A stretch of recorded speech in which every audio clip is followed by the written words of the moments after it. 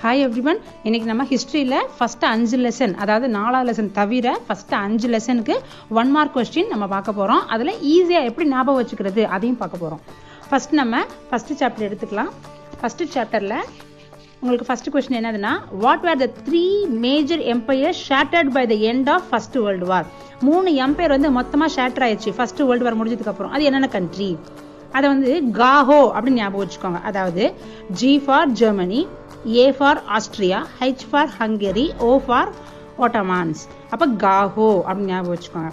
அதாவது மூணு எம்பையர் வந்து செதஞ்சிருச்சு. வேர்ல்டு வார்க்கு அப்புறம் அப்படின்னா காஹோ. ஓகேவா அடுத்து தேர்ட் கொஸ்டின் செகண்ட் கொஸ்டின் கிடையாது. Third question which country emerge as strongest இந்த East Asia towards close of nineteen century strongest country என்னது வேர்ல்டில் ஜப்பான் தான். ஓகே ஸ்ட்ராங்காக வெளில வந்தது அப்படின்னா அது வந்து ஜப்பான் தான் ஸ்ட்ராங்காக வெளில வந்துச்சு. அடுத்து who said imperialism is the highest stage of capitalism capitalism அப்படின்னாலே நிறையா பேசினது லெனின் தான் பேசியிருக்காரு. அதனால கேபிட்டலிசம் அப்படின்னா லெனின் நீங்கள் கண்டிப்பாக எழுதிடணும். கேபிட்டலிசம் லெனின் ஓகே அடுத்து ஃபிஃப்த் கொஸ்டின் ஃபிஃப்த் கொஸ்டின் என்னது? What is a battle of மானே ரிமெம்பர்ட் ஃபார் பேட்டில் ஆஃப் மானே வந்துட்டு நம்மளுக்கு ட்ரென்ச் வார்ஃபேர் ஓகேவா trench warfare battle of Marne என்னது? ட்ரென்ச் வார்ஃபேர் இப்படி ஒரு தடவைக்கு ரெண்டு தடவை திருப்பி திருப்பி சொன்னீங்கன்னா உங்களுக்கு மனசில் நல்லா பதிஞ்சிடும் ஓகேவா அடுத்து பார்த்தீங்கன்னா சிக்ஸ்த் கொஸ்டின் கிடையாது. சிக்ஸ்த்தும் கிடையாது செகண்டும் கிடையாது. ஞாபகம் வச்சுக்கோங்க. அடுத்து seventh question to which country the secretary first secretary general league of nation belong Britain ஏன்னா பிரிட்டன் எப்பவுமே என்ன சொல்லுவாங்க? நான் தான் ஃபர்ஸ்ட் நான் தான் ஃபர்ஸ்ட் எல்லா நேஷன்லயும் நான் தான் ஃபர்ஸ்ட் அப்படி சொல்லிட்டே இருப்பாங்க. அதனால லீக் ஆஃப் நேஷனுக்கு ஃபர்ஸ்ட் செக்ரட்டரியா பிரிட்டனையே போட்டாங்க. அப்படியா? ஓகேவா லீக் ஆஃப் நேஷனுக்கு பிரிட்டனை ஃபர்ஸ்ட் போட்டாங்க. அடுத்து which country was expelled from league of nation for attacking Finland இப்போ அட்டாக்கிங் ஃபின்லாண்ட் யாரையாவது அட்டாக் பண்ணால் நம்ம என்ன பண்ணுவோம்? எஃப்ஐஆர் போடுவோம் இல்லையா? போலீஸ் அப்படி தானே போடுவாங்க? அப்போ எஃப் வந்து ஃபின்லாண்டு அப்போ ஃபின்லாண்டை அட்டாக் பண்ணால் ஆர் ஆர் என்னது? ரஷ்யா ஓகேவா ஸோ ஃபின்லாண்டை அட்டாக் பண்ணுறப்போ எந்த நாடை வெளில அனுப்புனாங்க? எஃப்ஐஆர் போட்டு ரஷ்யாவை வெளில அனுப்பிட்டாங்க. அடுத்து செகண்ட் பார்த்தீங்கன்னா ஃபில் இந்த பிளாங்க்ஸ் அதில் ஃபர்ஸ்ட் கொஸ்டின் இருக்கு.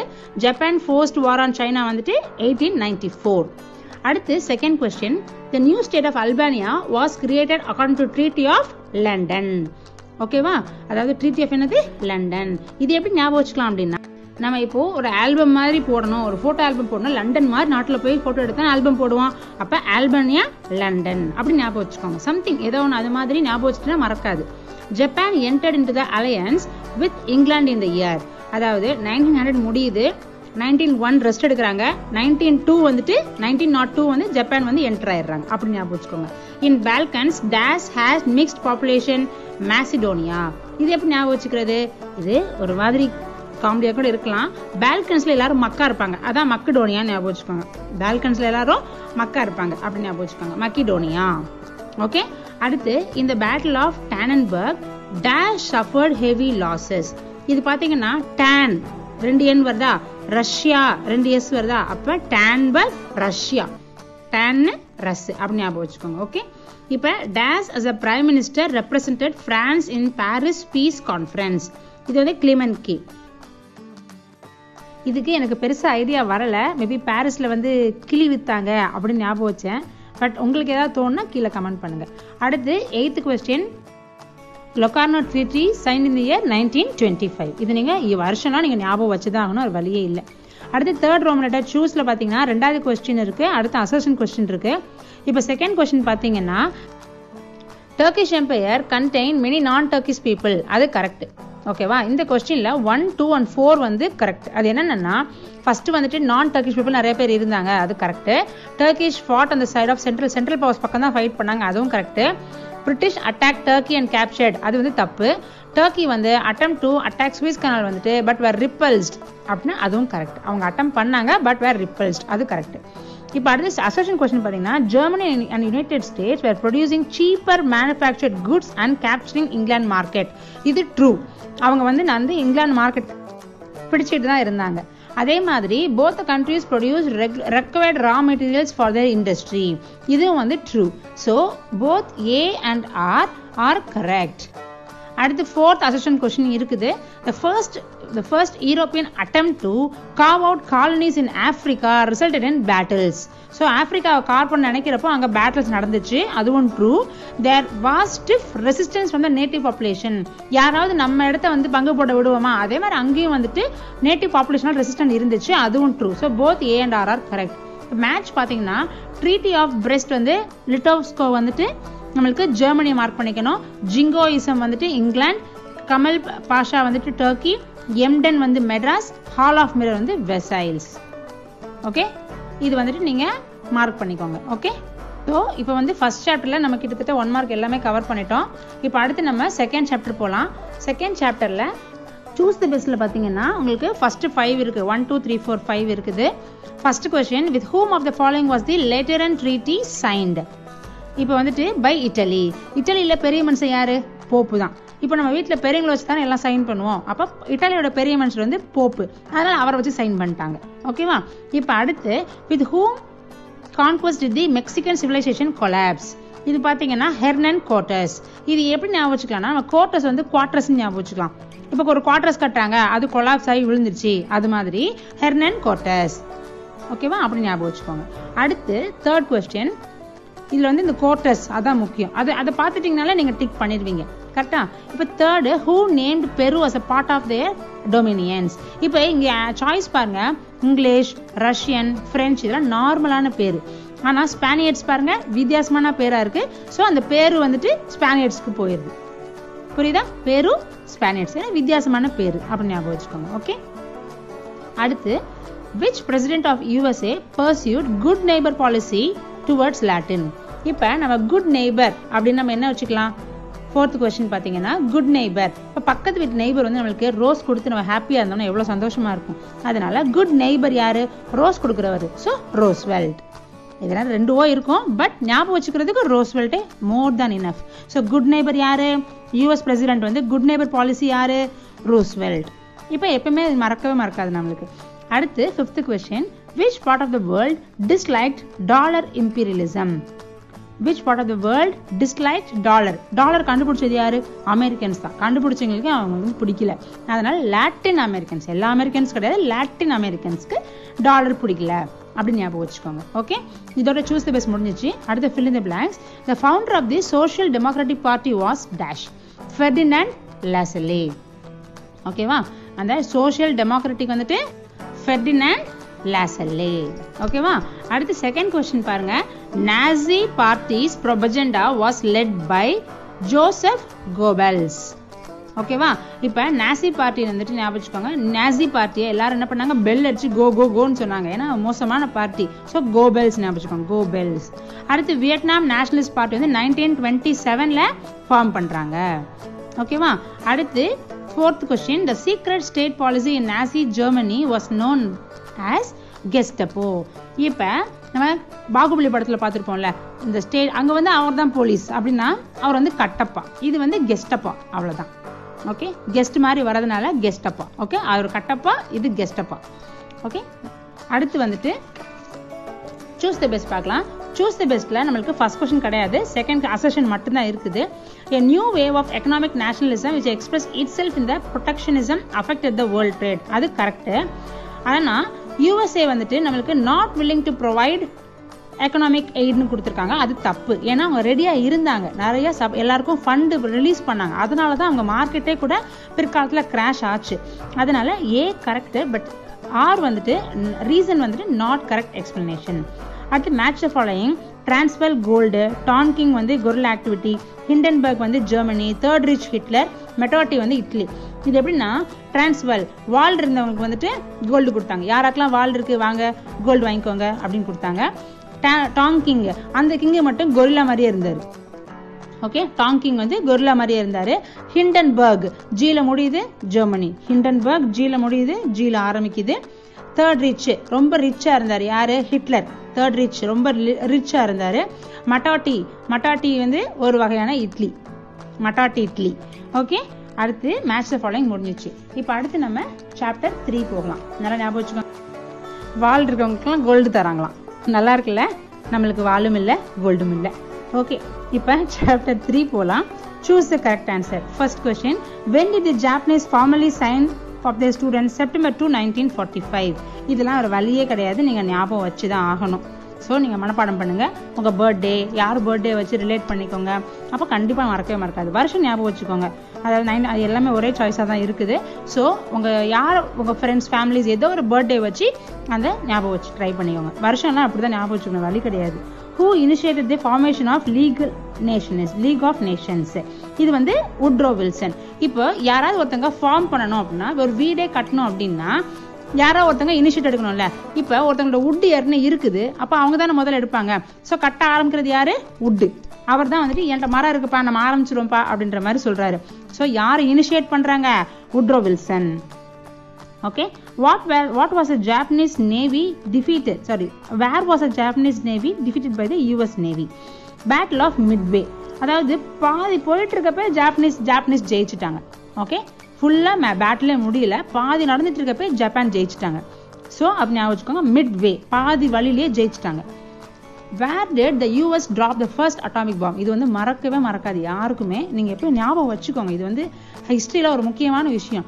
ஹிரோஷிமா நாகசாகி அப்படி தான் சொல்லுவாங்க. ஸோ ஃபர்ஸ்ட் ஹிரோஷிமா அடுத்த நாகசாகி ஓகே இப்போ ஃபர்ஸ்ட் எங்கே ட்ராப் பண்ணுறாங்க ஹிரோஷிமாவில் அடுத்து fifth question what who are the mainly persecuted by Hitler's ஹிட்லருக்கு பிடிக்காத யாரு? ஜூஸ் தான். ஸோ அவங்கள தான் அடுத்து sixth which prime minister of England who sign the Munich pact with Germany இது ரொம்ப ஈஸியாக ஞாபகம் வச்சுக்கோங்க. முனிச் பேக்டை உடனே சைன் பண்ணல.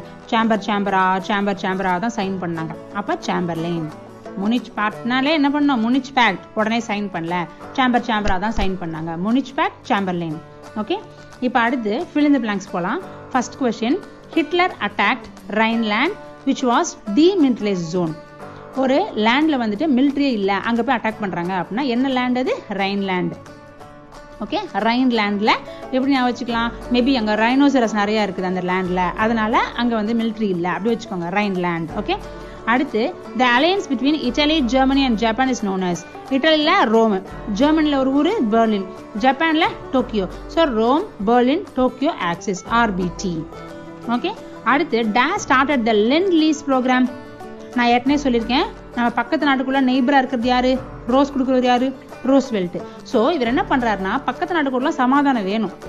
சண்டையிலும் இருக்கணும் சமாதானமும் வேணும். அப்ப என்ன பண்றாரு? நேரா சண்டை போடாம எல்லாருக்கும் வந்து ஆர்ம்ஸ் ஃபுட் எல்லாம் சப்ளை பண்றது. அதான் லெண்ட் லீஸ் வாடகைக்கு விடுறது. So president Roosevelt Britain prime minister dash resign nineteen forty Chamber சேம்பரா Munich பேக்டை சைன் பண்ணிட்டாரு. ஆனா அதுக்கு மேல அவரால் முடியல. அதனால ரிசைன் பண்ணிட்டாரு. அடுத்து sixth question dash is a device use to find out enemy aircraft இது எல்லாருக்கும் தெரியும். ரேடார் தான். அது இப்போ வரைக்கும் நம்மளுக்கு ரேடார் நம்ம யூஸ் பண்ணிட்டு தான் இருக்கும். யூனிவர்சல் டிக்ளரேஷன் அடுத்து seventh question universal declaration of human rights set forth fundamental human rights in dash articles thirty articles okay இது நீங்கள் ஈஸியாக ஞாபகம் வச்சுக்கலாம். முப்பது ஆர்டிகல் இது நம்பர்லாம் வந்து பெருசாக யோசிக்க தேவையில்லை. ஒரு ஹியூமன் பீயிங்ஸ் உங்கள் கிளாஸில் எத்தனை பேர் இருக்காங்க? முப்பது பேர் இருக்காங்க. அப்போ ஹியூமன் ரைட்ஸ் வந்து முப்பது பேர். அப்படின்னு ஞாபகம் வச்சுக்கோங்க. ஏதாவது ஒன்று நம்பர்ஸ் மட்டும் உங்களை ரிலேட் பண்ணிக்கோங்க. எப்படியாவது ரிலேட் பண்ணிக்கோங்க ஓகே அடுத்து சூஸ் த பெஸ்ட்ல பார்த்தீங்கன்னா ஃபர்ஸ்ட் கொஸ்டின் கிடையாது செகண்ட் அசஷன் இருக்குது. அதில் president Roosevelt realised that United States had to change its policy of isolation he started the program of lend lease nineteen forty one இது ரெண்டுமே correct ஏன்னா policy of ஐசோலேஷனை மாற்றணும் அப்படின்னு அர்த்தம். ஒத்தையாகவே இருந்தாங்க. மற்றவங்க கூட சேரணும். ஆனால் சண்டை போட ரெடி இல்லை. அப்போ என்ன பண்ணுறாரு லெண்ட் லீஸ் ப்ரோக்ராம் வந்து ஆரம்பிக்கிறாரு. அது அப்போ ரெண்டுமே கரெக்ட் தான். அடுத்து match the following blitzkrieg lightning strike royal navy Britain lend lease Roosevelt Volga Stalingrad Guadalcanal Solomon Island இது எப்படி ஞாபகம் வச்சுக்கலாம் பிளிட்ஸ் லிட்ஸ் ஞாபகம் வச்சுக்கோங்க. எங்கே லைட் அடிக்கும்? லைட்னிங் ஸ்ட்ரைக் இங்கே லிட்டு இங்கே லைட்னிங் ராயல் நேவி யார் ரொம்ப ராயலான கண்ட்ரி பிரிட்டன் ஸ்ட்ராங் என்ன சொன்னேன்? ஜப்பான் ராயல் பிரிட்டன் லெண்ட்லீஸ் யார் ஆரம்பிச்சா? நெய்பர் கண்ட்ரி ரூஸ்வெல்ட் ஓல்கா இது எப்படி ஞாபகம் வச்சுக்கலாம்னா ஓல்கா வந்து வால்வா பஸ் மாதிரி ஞாபகம் வச்சுக்கோங்க. ஸோ ஸ்டாலின் வந்து வால்வா பஸ்ல போனாரு. அடுத்து குடால் கெனால் குடால் கெனால் என்னது? நம்மளுக்கு சாலமன் ஐலாண்ட் அந்த கெனால் வந்து அந்த ஐலாண்டில் இருக்கு. அப்படின்னு ஞாபகம் வச்சுக்கோங்க. அடுத்து வந்து சாப்டர் ஃபோர் கிடையாது. ஸோ சாப்டர் ஃபைவ் ஃபர்ஸ்ட் ரோமனட்டர் choose the பெஸ்ட்ல first question in which year sati was abolished eighteen twenty nine so இதுவும் நாங்கள் ஏதாவது ஒரு நம்பரை வச்சு நீங்கள் ம மனப்பாடம் பண்ணிக்கோங்க. எயிட்டின்றது ஃபேக்ட் ஏன்னா இது ரொம்ப பழைய வருஷம். ஸோ எயிட்டின் ஞாபகம் வச்சுக்கோங்க. டுவெண்ட்டி நைனுக்கு ஏதாவது ரிலேட் பண்ணிக்கோங்க.